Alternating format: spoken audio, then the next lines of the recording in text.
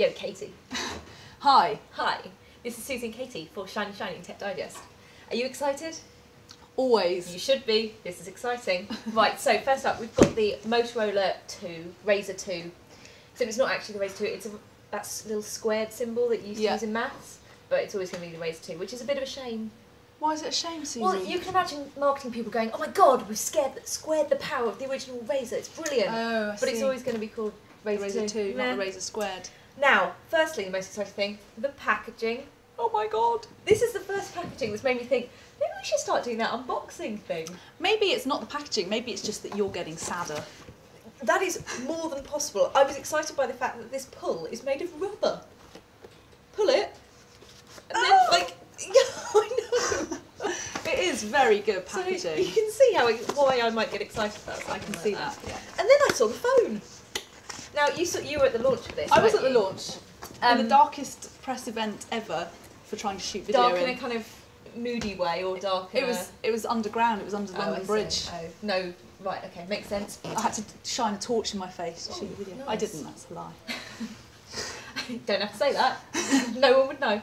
Um, so this is Yeah. the Razr 2. And first up, it just looks bloody nice. It does look nice. It's um, this is all uh, metal. This is toughened glass. It's got a nice weighty feel. kind of bluey colour. Bluey, bluey colour. Probably blue steel. They've probably got a special like name that. for it, yeah. Yeah.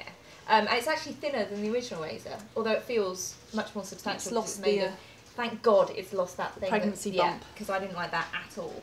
Now, their main, although this does have things like two, two megapixel camera, fantastic. um, and you know, ex- expandable memory, all that kind of stuff. Their main shtick with this is the MP3 player, right. which is um, quite fun.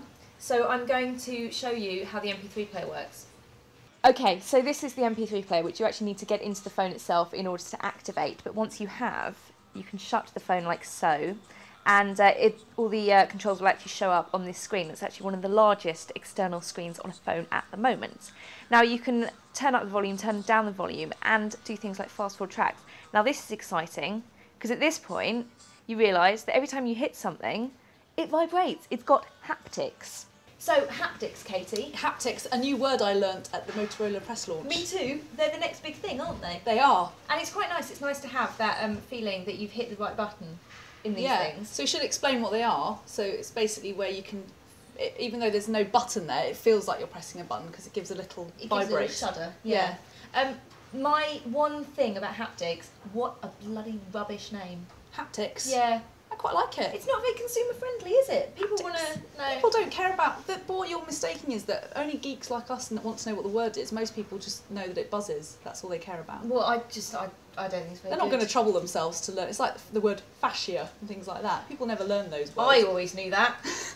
okay, so, but it does other exciting things as well. Um, mainly the fact that it will um, tell you all this stuff. It basically it has a voice. This phone. It speaks for itself. It speaks messages. You see. Now I'm going to um, read one which maybe I set up earlier, possibly, and in fact it's from you. oh, that was nice of you. Katie L. Right. Sent at 1810 August 21, 2007. Content is fitter, happier, more productive. Ha ha ha. I love it. So it will read your messages to you, um, which is obviously great if uh, you have problems seeing, Yes. and also if you don't want to read. Yes. So everyone's a winner in this case. Yes. I made that point badly in the last video. I think I've just made it even worse. Um, it doesn't really read them that well, though, does it? No. It did ha ha ha then. Ha, ha, ha. ha ha ha. Yeah. But your our friend Laura, yes. her text messages don't come through very well. What this says to me is um, just don't make friends with people that use text speak. yes. It doesn't Perfect. get it's a, it's a really good way of weeding out friends. um, yeah, so I actually really like this phone. I think it's a winner. It's possibly one of the favourites this year. Can I have a grope? I think it's um very pretty, very nice. Uh, it's kind of, it's almost like it's not got that same wow factor the original one had, just because the original one was so different and new. Yeah. But it is very good looking, Yeah. very nice and very slick. So yeah, thumbs up. Thumbs up.